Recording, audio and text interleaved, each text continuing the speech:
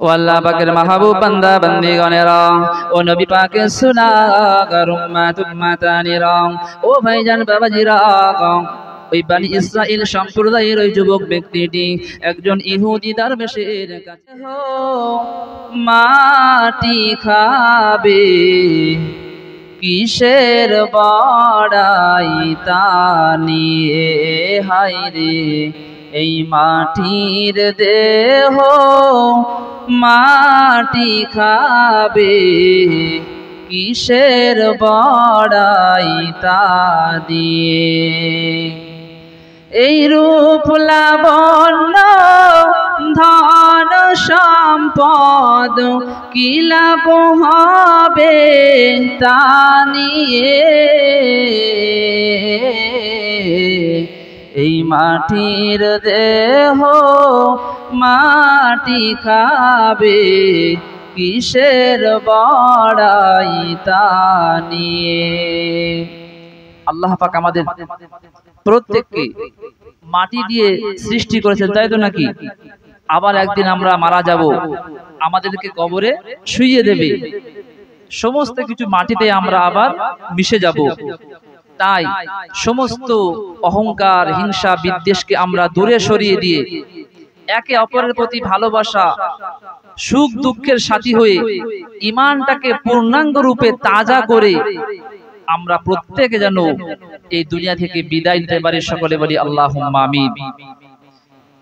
তো যে কথা বলছিলাম, যেহেতু এটা রবিউল আউয়াল মাস রসুল্লাহর আগমনের মাস আমরা তার সিরাত সম্পর্কে অনেক বর্ণনা শুনেছি। তার জীবনী সম্পর্কে আমরা শুনেছি। তার সুন্নাত সম্পর্কে আমরা শুনেছি। তো খুব সংক্ষেপে আমরা রসুল্লাহর একটি সুন্নাত সেই সংক্ষেপে আমরা আলোচনা করব। আল্লাহ নবী সাল্লাল্লাহু আলাইহি ওয়াসাল্লাম ছিলেন নিষ্পাপ, তাই তো নাকি? তিনি ছিলেন মাসুম। পৃথিবীর জমিনে যত মানুষ আগমন করেছেন, একমাত্র তিনি তার জীবনে কোনো ভুল ছিল না। তা সত্ত্বেও আল্লাহ নবী সাল্লাল্লাহু আলাইহি ওয়াসাল্লাম প্রতিদিন আল্লাহর কাছে সত্তর থেকে একশো বার পর্যন্ত তাওবা করতেন। কি করতেন? তৌবা স্বীকার করতেন, অর্থাৎ আল্লাহর কাছে আশ্রয় চাইতেন, ক্ষমা প্রার্থনা চাইতেন এবং তিনি আমাদেরকে শিক্ষা দিয়েছেন, ওগো দুনিয়ার মানুষেরা, তোমরাও বেশি বেশি করে আল্লাহর কাছে তাওবা করো। আল্লাহ পাক বললেন, ইয়া আইয়ুহাল্লাযীনা আমানু, তুবু ইলাল্লাহি তাওবাতান নাসুহা। আয় আমার ইমানদার বিশ্বাসী বান্দা, বান্দিগণেরা, তোমরা আমি আল্লাহর কাছে তাওবা করো একনিষ্ঠভাবে, খালেস নিয়েতে। যদি তোমরা আমার কাছে তাওবা করো, আসা রব্বুকুম আইয়ু কাফির আনকুম। আমি আল্লাহ তোমাদের পূর্বের সব গুনাহ খাতাগুলোকে ক্ষমা করব, জোরে বলি সুবহানাল্লাহ। শুধু তাই নয়, তিনি বললেন, আল্লাহ পাক জানিয়ে দিলেন, ইদখিলকুম জান্নাতিন তোমাদেরকে এমন জান্নাতে প্রবেশ করাবো, যার নিচে থাকবে ঝর্ণমালা। জোরে বলি, সুবহানাল্লাহ। ছোট্ট একটি সংক্ষেপে ঘটনা, যারা তাওবা করে, আল্লাহ তাদেরকে কতটা ভালোবাসেন। যদি আমি আপনি জীবনে পাহাড় পরিমাণ গোনা করে থাকি, তারপরেও যদি আমরা একটিবার আল্লাহর কাছে খালেস নিয়েতে একনিষ্ঠ ভাবে খাঁটি তওবা করতে পারি, আল্লাহ পাক আমাদের প্রত্যেককে অবশ্যই মাফ করবেন। যদি বলি সুবহানাল্লাহ। আল্লাহ নবী সাল্লাল্লাহু আলাইহি ওয়াসাল্লাম হাদিস পাকের মধ্যে বর্ণনা করলেন, ওগো দুনিয়ার মানুষেরা, আমি তোমাদেরকে একটা ঘটনা সম্পর্কে বলব। ও আমার সাহাবারা, তোমাদের পূর্বে একটা সম্প্রদায় ছিল যার নাম ছিল বানি ইসরাইল কি সম্প্রদায় বললাম?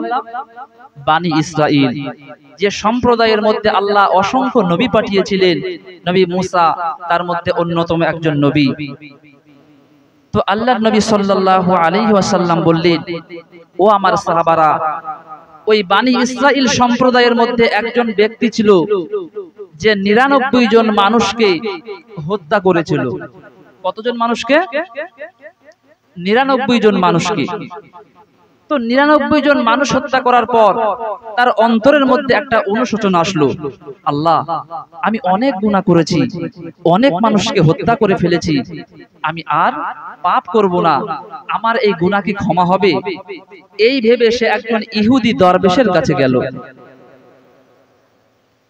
ও আল্লাহ পাকের মাহবুব বান্দা বান্দিগণেরা ও নবী পাকের সুনাগার উম্মাত উম্মাতানিরা ও ভাইজান বাবাজিরা ওই বানি ইসরাইল সম্প্রদায়ের ওই যুবক ব্যক্তিটি একজন ইহুদি দরবেশের কাছে হাজির হয়ে গেল। ইহুদি দরবেশকে জিজ্ঞাসা করে জিজ্ঞাসা করেছিলেন ও আল্লাহ পাকের দরবেশ বান্দা বলো বলো, আমি এমন একটা মানুষ। আজ পর্যন্ত আমি নিরানব্বই জন মানুষকে হত্যা করে ফেললাম। ও আল্লাহ পাকের দরবেশ বান্দা, আল্লাহ পাক কি আমার এই গুণাটা ক্ষমা করবেন?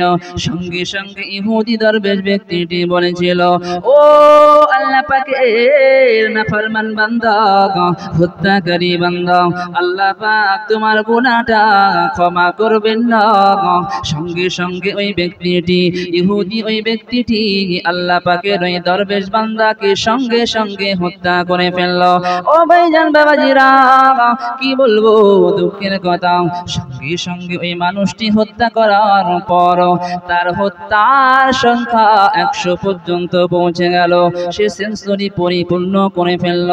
আবার ওই বান্দার মনে আল্লাহর ভয় ঢুকে পড়ল। সে মনে মনে সূচনা করতে লাগল, আয় আল্লাহ আয় আল্লাহ, আমি আমার জীবনে অনেক মানুষকে হত্যা করে ফেললাম। আপনি কি আমার গোনাটা ক্ষমা করবেন? সঙ্গে সঙ্গে ওই যুবক ছেলেটি এবার একজন আলেমের শরণাপন্ন হয়ে গেল। একজন আলেমের কাছে গেল। একশো মানুষ হত্যা করার পর গিয়ে জিজ্ঞাসা করল, আয় আল্লাহ পাকের আলেম মান্দা আমি আজ পর্যন্ত একশো মানুষ হত্যা করেছি। আল্লাহ কি আমার কোনাটা ক্ষমা করবেন? ও ভাইজান বাবাজিরা ওই আল্লাহ পাকের বান্দাটা এবার আলেম বান্দাকে জিজ্ঞাসা করে বলেছিল ও আল্লাহ পাকের আলেম বান্দা আমি এমন একটা খারাপ মানুষ, আমি আজ পর্যন্ত আল্লাহর একশো বান্দাকে হত্যা করে ফেলেছি। আমার গোনাটা আল্লাহকে ক্ষমা করবেন, মাফ করবেন। আল্লাহ পাকের আলেম বান্দাটা বলেছিল, ও আল্লাহ পাকের বান্দা অবশ্যই অবশ্যই আল্লাহ তোমার গোনা খাতা ক্ষমা করে দেবেন তুমি যাও যাও, চলে যাও। তোমার বাড়ি থেকে রওনা হয়ে যাও। বাইতুল মুকাদ্দাস ফিলিস্তিনের জমিনে তুমি চলে যাও। সেখানে গিয়ে দেখবে আল্লাহর অনেক মানুষ ইবাদত বন্দিগি করছে। আল্লাহর কাছে রোনা জারি করছে। আল্লাহর ইবাদতে মশগুল হয়ে আছে। ও আল্লাহর বান্দা, তুমি তাদের সঙ্গে সেখানে ইবাদতে মিশে যাও। ও আল্লাহ পাকের হত্যাকারী বান্দা, তুমি কখনো জানো বাড়িতে ফিরে আসবে না। সে একটা ডিসিশন দিল। সেই সময়কার মানে মুসানবির সময়। বাইতুল মুকাদ্দাস ছিল। মুসলমানদের কিবলা, তখন কাবার দিকে নামাজ পড়তো না। সে বলল তুমি সেখানে চলে যাও। দেখবে অনেক মানুষ সেখানে ইবাদাত করছে। তাদের সঙ্গে তুমি ইবাদাত করবে। আল্লাহর কাছে মাফ চাইবে। তোমার গোনা অবশ্যই আল্লাহ পাক ক্ষমা করবেন। ও আল্লাহ পাকের মাহবুব বান্দা বান্দিওয়ানেরা ও নবী পাকের সুনাগার উম্মাত উম্মাতানিরা দেখুন যারা আল্লাহর কাছে তাওবা করে, খাঁটি তাওবা করে, আমার আল্লাহ তাদের গুনাহ খাতা maaf করে দেন। আল্লাহর এই হত্যাকারী বান্দাটা বাড়ি থেকে পার হয়ে গেল, আল্লাহর উদ্দেশ্যে রওনা দিয়ে দিল, ফিলিস্তিনের উদ্দেশ্যে রওনা দিয়ে দিল। ও ভাইজান বাবাজিরা কিন্তু না না না না। ওই ব্যক্তিটি যখন বাইতুল মুকাদ্দাসে পৌঁছানোর মাস পথ অর্থাৎ বাড়ি থেকে মিডিল পয়েন্টে রওনা হয়ে গেল। আল্লাহ পাকের হুকুম হয়ে গেল। আল্লাহ পাকের অর্ডার হয়ে গেল। ওই বান্দাটা হায়াত আল্লাহ শেষ করে দিলেন।